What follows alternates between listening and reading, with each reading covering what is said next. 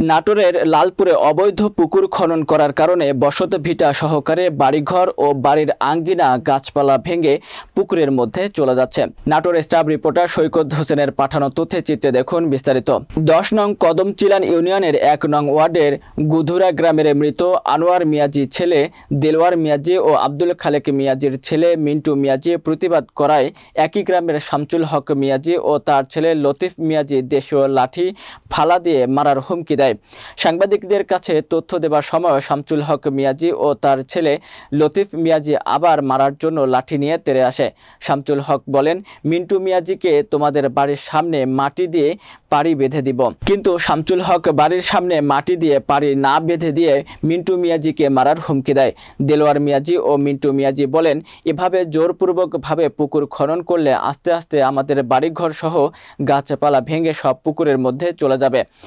একশো খান বস্তা দিয়ে ওখানে বাঁধেছি তারপরে ওই ওই আইল বাঁধে নিয়েছি যাতে ওদিককার পানি এদিক না আসে। ওই আজ ওই যে, ওই আইল বাঁধতে কাটতে গেছে।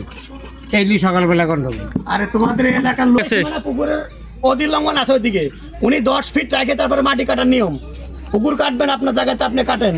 দশ ফিট জায়গা রেখে তারপর আপনি মাটি কাটেন। আপনি পুকুরে পাড়িতে গাছ লাগান সেটা আপনার অধিকার আছে। কিন্তু আমার জমি সীমানা আল সংলগ্ন করে আপনি মাটি কাটবেন এবং কি আপনি ওই মাটি কাটি নেবেন ভাঙে চলে যাবেন ওগুলো মাটি নিচে নামাই নেবেন এটা হবে না। যেভাবে মাটি ভাঙছে আমার জমির এই যে এই গাছটা আমার। এই গাছটা আর কিছুক্ষণ পরে ভেঙে এরা যখন প্রয়োজন হয় মাটি কাটে যখন প্রয়োজন হয় মাটি বেছে সীমানা হলো এটা? এই বরাবর। এই বরাবর সীমানা। সেম ঠিক আছে? এই বরাবর সীমানা। তাহলে আমার সীমানা কিন্তু ভাঙ্গে অলরেডি কিন্তু পড়ে গেছে। মানে এখানে যে সীমানা ওদেরকে আমি নিষেধ করার পর তারা আমার মানে ওই মুরব্বী আর তার ছেলেরা আমাকে দৌড়া এই পর্যন্ত আসছে এখানে মুরব্বীর নাম কি? মুরব্বীর নাম হলো শামসুল হক।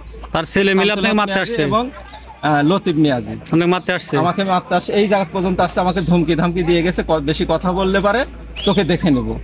এবং আমাকে অখাস্ত ভাষায় মানে এমন ভাষায় গালাগালি করছে তা বলার মতো না।